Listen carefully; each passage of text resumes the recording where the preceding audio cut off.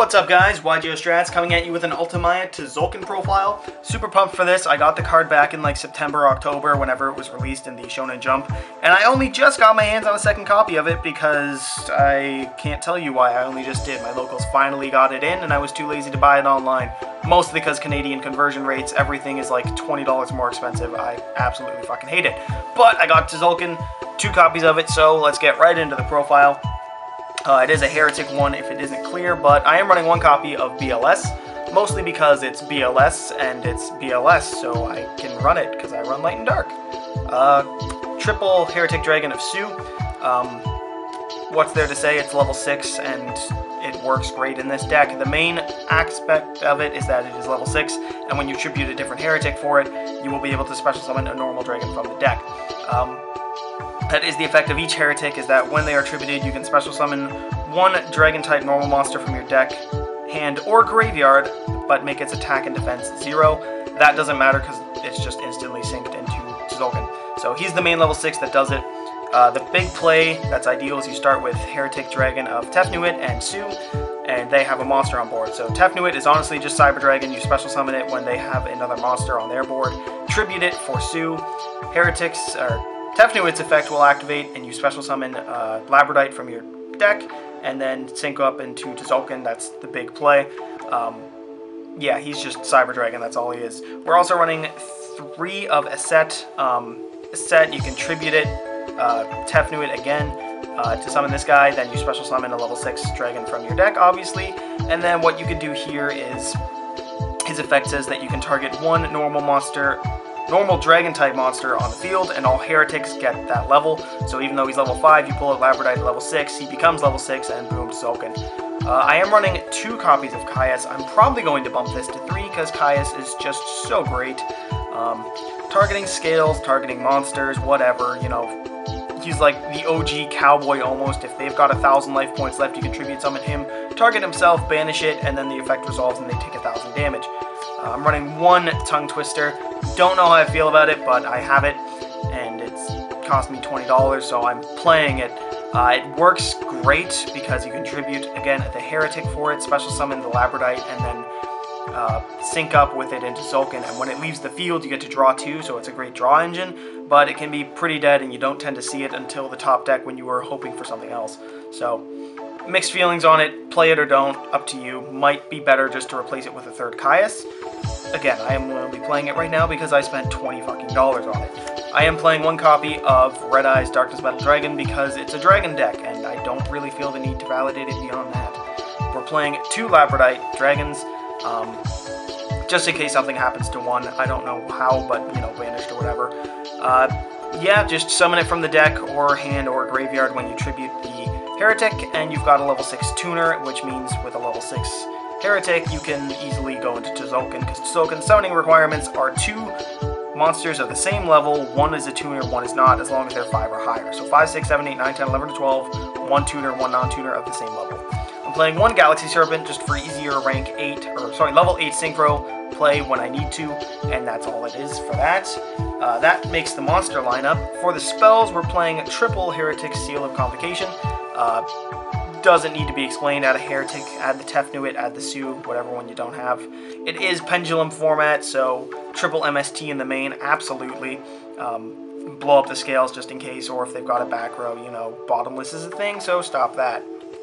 Playing triple Upstart for that little bit of consistency. Nothing like Green Band to keep the deck going. And double Lance, because occasionally, you probably saw them. You've got something like Exploder Wing Dragon, you can get rid of a problem monster by lowering its attack by 800, or just have a thing to set for Tzolk'in. So, rounding up the spells, we got one Soul Charge, just bring back something, go into Tzolk'in, and set another. Easy peasy. For the trap lineup, I am running double Mirror Force right now. This should be Storming, but Storming's in a different deck, so I'm using Mirror Force right now in this build, but Storming is obviously a great option as well. I'm playing double Fiendish Chain, just for negating effects. One Scrap Iron Scarecrow, uh, save an attack with Tzolk'in you can't summon during the battle phase using Tzolk'in's effect after this resets itself, but to keep Tzolk'in alive after they get rid of one Synchro with one attack and attack it with another, it's helped in the time. You know, it is what it is. I'm running one Compulse for bouncing things, one Dust Tornado because it lets you set another card after you use it and works as a MST of sorts. I'm running one Malcat just because, again, it is pendulum format and every once in a while I don't have the things I need. I got a monster heavy hand or a spell heavy hand and I can just set this, use Tzolk'in's effect, and then blow up their scales when they try to attack Tzolk'in. One Torrential for overkill and then double of Solemn sorry, one of Solemn and Grand Horn of Heaven just because, again, pendulum format just need to stop those crazy scale summonings. For my extra deck, I will start it off by saying we are running two Tzolk'ins, obviously, because Tzolk'in's a fantastic card.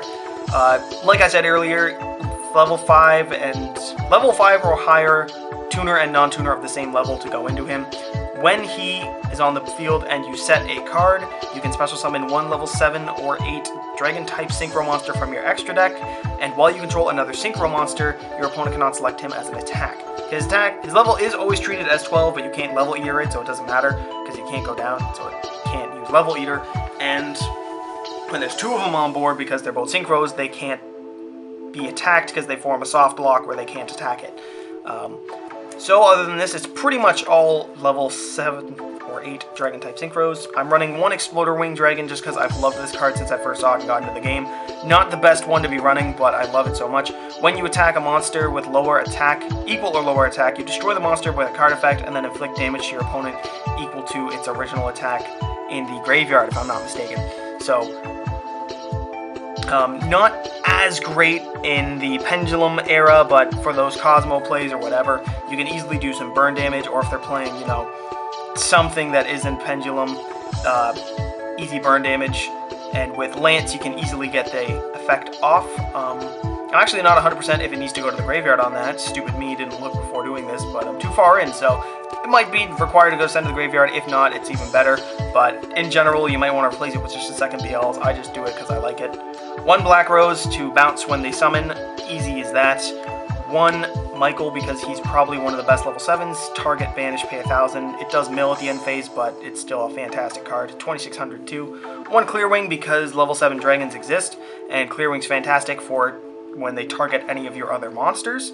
So that's easy enough as it is. If they target any of our extra deck cards, they can't do so for once as long as they don't negate it. I'm playing one Gungnir because, again, awesome looking card. I just love it so much. And it helps clear up my hand for when I use Void Ogre. Uh, easy 3000 beat stick, and as long as we've got nothing on board, you can negate one thing once per turn, one thing being one spell or trap. Obviously, BLs is a prime target to go for first turn whenever you've got to Tzolk'in out and you set something. 3000 indestructible, why the hell not? We are running one Hot Red Dragon Archfiend just to blow up all other face-up attack, just Super Mirror Force. Only it can attack if you do so, but it's still great. One Stardust to protect Mass Destruction, and one Stardust Spark to protect Tzolk'in if they decide to attack. If they summon something, two monsters that can get over it, and they get over a Spark and then attack Tzolk'in. Before they do that, you can just chain it make Tzolk'in indestructible once, and you're solid. We do run, obviously, a lot of level 6s, so Ptolemy is great, and it's Hieratic, so Atum, just great for getting out Red Eyes for extended combo plays. And then when their materials have nothing, obviously Gaia Charger is the optimal play over a dead rank 6 with no materials. Uh, I was trying Strike Bouncer over Ptolemy. Um, bouncing I found to be a little more helpful in the long run or just getting something back from my graveyard to do something with it. Uh, other good rank 6s include something like a Gauntlet Launcher, just multiple destruction on one turn. Up to you. I recommend playing Atum and then one other rank 6 maybe if you're going to. If not, just play Atum. Uh, I was trying Grand Dragon Divine Dragon Felgrand Knight, whatever its name is, just because I have a lot of level 8s and occasionally I'd want to overlay, but I found that just to be never worthwhile in the slightest, so don't recommend that, but go ahead, leave a comment, tell me what you think. The deck's super fun, it's honestly just spamming out level 7 and level 8 Synchro Dragons, and if you're like me, those are my favorite cards, is the Synchros, and Dragons are my favorite type, so I just had to play this deck. Go ahead, leave a comment, I say this too much at the end of the video, but like, comment, subscribe, triple time saying comment, and we'll see you next time on Ya Go Strats.